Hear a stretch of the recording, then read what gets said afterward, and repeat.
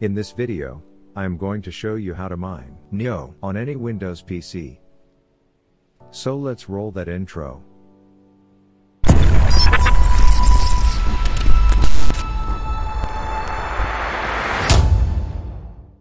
The first step is to open your downloads folder and create a new folder. We'll just call it miner. Open up your Windows security settings. Go to virus and threat protection. Go to manage settings. Scroll down and go to exclusions. Click on add and remove exclusions. Click on add an exclusion. And then click on folder from the drop-down. Then we'll go to the downloads folder and select the folder that we just created. The next step is to go to this website. Link is in the video description. Once you're on the download page here, we can click on the beta pack version. And then we'll go to our download section, and click on the folder we just created. And click save. Once downloaded, just open it up in the folder. Extract it into the folder. Once it's extracted, just run the file. Click continue. Here you can select graphics card or CPU. If you're on an older computer, or if you don't have a high-end graphics card, simply select CPU to get started. But if you have a gaming computer, or a good graphics card, you're going to make more profits, by selecting graphics card. Click next. Search for Neo in this section, and select it.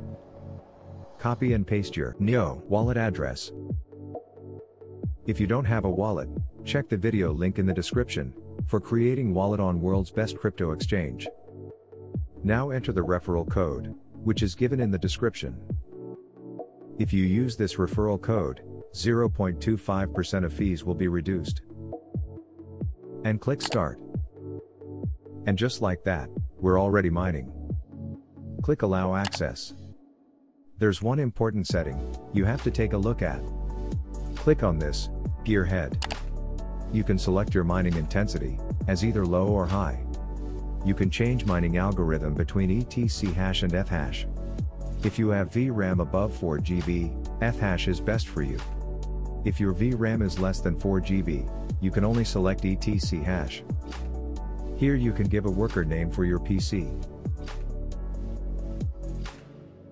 Make sure that the referral code is correct. You can turn this on to run the miner at startup. Click Save and Restart. Once you're mining, you can click on this Stats button. This will open a dashboard where you can see your balance, payout and you can also get your own referral code here. And your miner stats. That's it for this video. Hopefully you got this miner set up. Let us know what you think in the comment section. If you like the video, give it a like, subscribe, and we'll see you in the next one. Thanks for watching.